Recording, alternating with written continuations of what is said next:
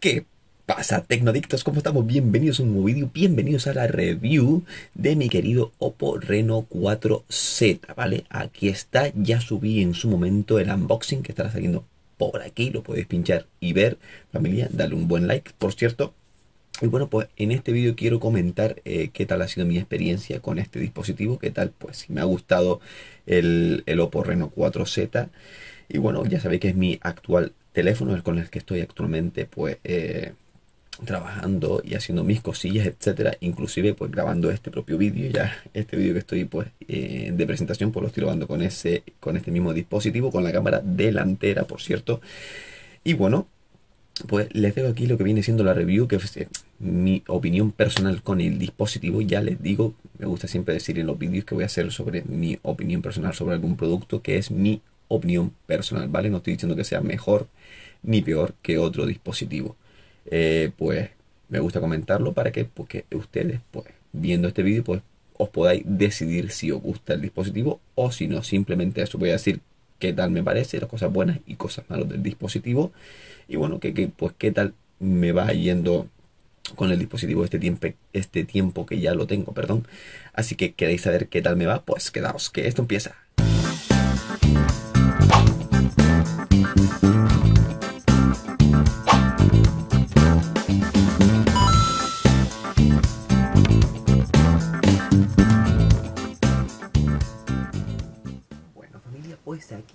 El dispositivo, mi querido, mi querido Oppo Reno 4Z. Este es el modelo 5G, ya sabemos que podemos pues, utilizar la red 5G, ya la he utilizado y pues estoy bastante contento porque el teléfono responde genial.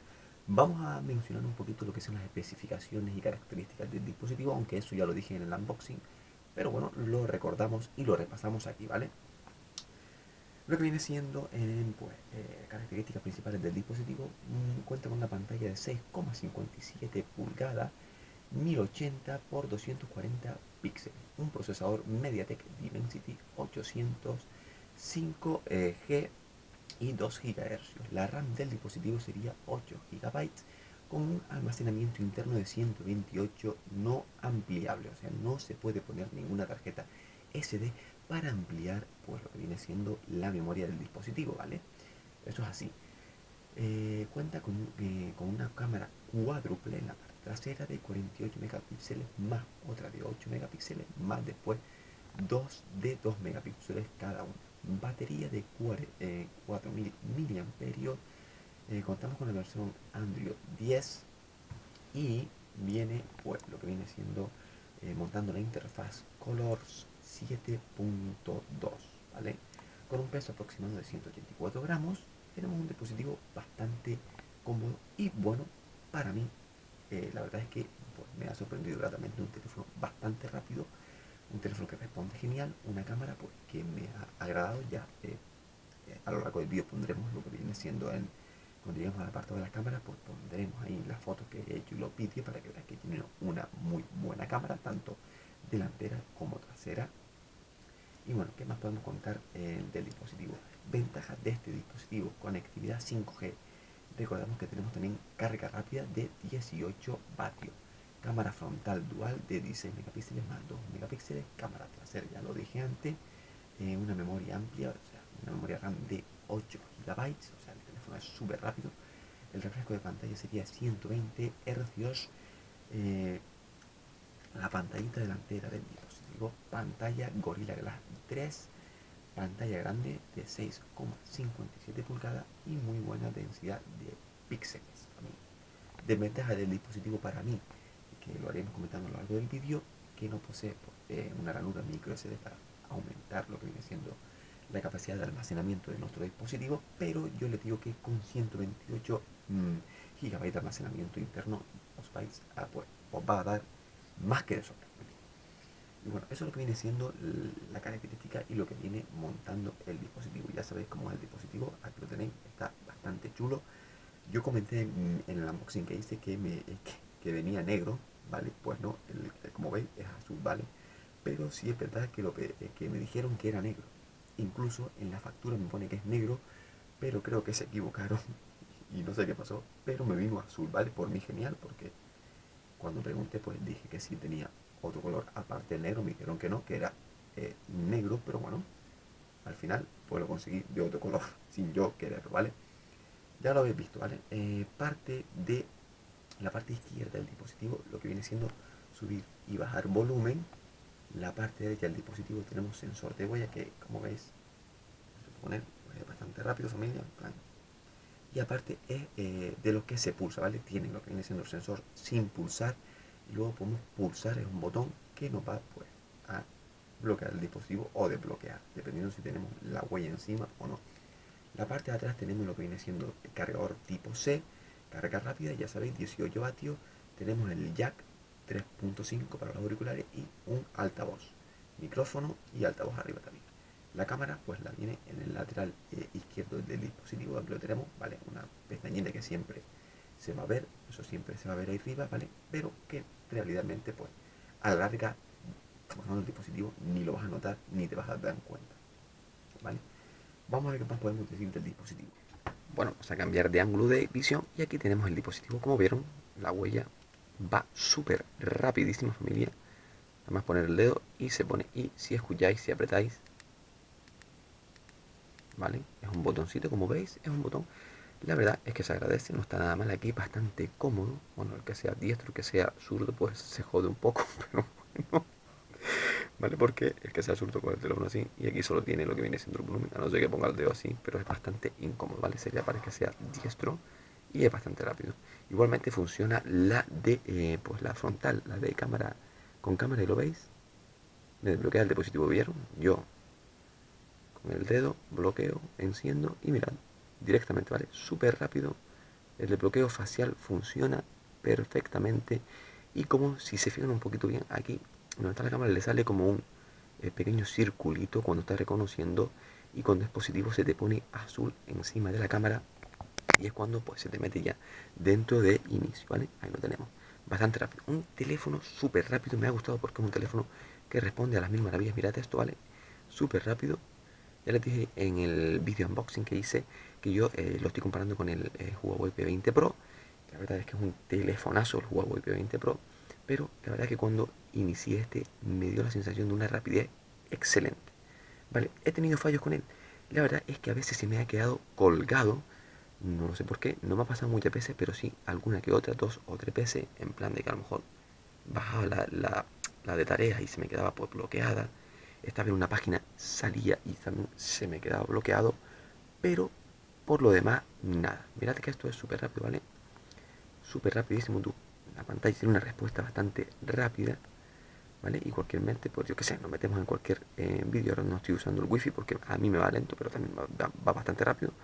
Nos metemos en YouTube y cualquier vídeo, cualquier vídeo que pongamos te lo va a pues, reproducir rápidamente. Ponemos este uno de mis últimos vídeos y vamos a ver el sonido. Diferente en el caso este, pues.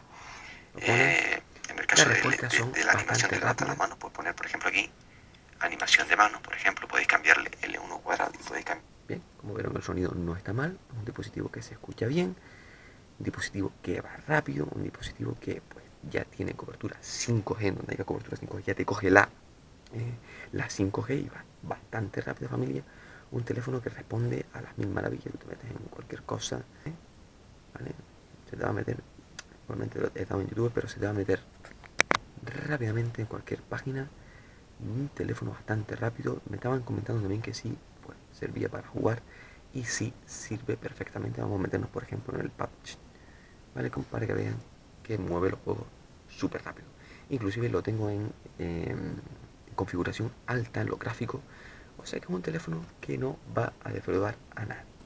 ¿Vale? Y ahora hablaremos un poquito de puntos negativos. Mirad el sonido, ¿vale? Lo voy a bajar ahora, pero se escucha bastante bien. Como vieron, siempre está aquí la cámara, ¿no? Eso es algo que no va a desaparecer y que se va a quedar ahí. Pero que, bueno, no molesta mucho algunos juegos. El menú se te mete debajo de la cámara y puede ser un poquito molesto. Pero bueno, a mí la verdad es que, pues, no me molesta para nada. Vamos a hacer una partida para que vean que el juego, pues, va a las mil maravillas. Vamos comenzar. Aquí se te mete un poco el menú debajo de la cámara. Ahí lo vieron. ¿Vale? Pero nada un teléfono que carga rápido, con 8 GB de RAM, pues ya miréis un teléfono que va súper rápido, 2 GHz, es un teléfono pues que con, con, la gráfica que tiene, pues va bastante bien, ¿vale? Un teléfono bastante, bastante bueno, familia. Y por el precio de, ya estuve mirando, 300 euros lo puedes conseguir, ¿vale? Salió un poquito más, más caro en el momento de la salida, unos 399 por ahí, casi 400. Pero bueno, si tenéis pues, pensado pillar un dispositivo normalito que esté mm, barato y que dé unas buenas eh, prestaciones, yo me iría pues de cabeza a este dispositivo. Vale familia, mirad cómo va. estoy jugando tranquilamente el personaje. vieron? Y creo que tengo los gráficos a ultra, me parece, si no me equivoco. A ver, a ver, a ver, a ver si veo por aquí. Vale, que estoy mirando a la vez que tengo aquí ya gráfico y está en alta. ¿Me lo veis, familia? Está ahí en alta, aquí lo tenéis. O sea, estamos viendo el juego en alta. Otros dispositivos que subió al canal, por ejemplo, como el que subí eh, cuando me compré el Cubot P40 que me salió 80 euros, ¿vale? De baja, pues no iba a subir la gráfica de los videojuegos, estaba en baja y tenías que jugar en baja. En este estamos jugando no en media, sino en alta. O sea, tiene un buen procesador familia, un teléfono que no pues, va a defraudar a nadie, tanto para jugar, tanto para navegar, tanto para ver vídeos, tanto para hacer vídeos también. Ya les digo que mis últimos vídeos, todos los que yo he hecho de aquí para acá, están hechos pues, con esta cámara, con la cámara delantera, con esta de 16 megapíxeles y la otra de 2 megapíxeles pues los vídeos van bastante bien. También podemos hacer vídeos a 4K, sería grabarlos a 30 FPS o eh, grabar ya normal a 1080 a 60 FPS, ¿vale? Como veis, vamos a tirarnos a ver qué pasa y como veis, nada de lag. El juego no buguea, el juego va súper rápido, mirad cómo va. Y una buena pantalla, una pantalla grandísima familia que llega tanto al marco de arriba, aquí en el marco de abajo tenemos un poquitito viene siendo de, pantalla más metida, pero en definitiva un teléfono espectacular familia. Entonces ahora vamos a ver un poquito cuál sería mi punto negativo. Hemos hablado pues, de en gráfica, hemos hablado de lo que monta dentro al principio del vídeo, hemos hablado de qué tal la pantalla, hemos hablado de lo que viene siendo que tiene una buena batería. La batería pues vais a llegar sin problemas a final del día. Yo siempre llego al final del día con unos 20% de batería y pues bueno, soy alguien que usa bastante el teléfono, que está pues, metido, navegando, trabajando con él, usando el GPS y todo eso, entonces el dispositivo a mí me llega, les digo, 20-25% por la noche. Y bueno, con carga rápida de unos 18 eh, vatios, pues no vais a tener problemas de cargar el dispositivo. En menos de una hora vais a tener el dispositivo más que cargado, o sea, se agradece. Ya sabemos que hay cargas mucho más rápido, de 30 vatios, etcétera. Pero bueno, 18 no está nada mal, ya le digo que es un dispositivo que va a salir unos 300 euritos, no está nada mal, yo voy a coger aquí que hay. Necesito armas, por Dios, necesito armas. Vamos a echar una partida muy larga, mirad, mirad cómo el, juego responde perfectamente. Vale, también me respondieron un suscriptor que sí se podía instalar en este juego el Free Fire, obviamente, señor suscriptor. Lo he instalado y lo tengo fuera, ¿vale? Nada, Que el juego va de maravilla a la misma maravilla, salimos. El dispositivo responde también a la misma maravilla y hace todo en, tiempo récord. Ya sabemos que eh, la interfaz eh, que monta el dispositivo es la Color 7.2 y está bastante chula, la verdad. Aquí lo que viene siendo eh, ajustamos para arriba y no tiene, lo viene siendo donde tenemos todas las aplicaciones en el dispositivo, están todas aquí organizadas y luego pues las podemos organizar también en la pantalla de inicio. Aquí lo tenemos con pasar, pues nos va mostrando todas las que tenemos. Aquí tenemos lo que viene siendo el Free Fire Familia, El suscriptor que me respondió que si se puede instalar, sí se puede instalar, ahí lo tenéis, ¿vale? Ya les digo que es un dispositivo estupendo. Cosas pues negativas, cosas negativas que puedo decir de este dispositivo, que los materiales no son tan pros como por ejemplo el que yo mostré en el unboxing el Huawei P20 Pro, ¿vale? Un móvil pesadito, un móvil que no es muy cómodo a la mano y es para mano grande. El que tenga la mano pequeña no le va a gustar mucho.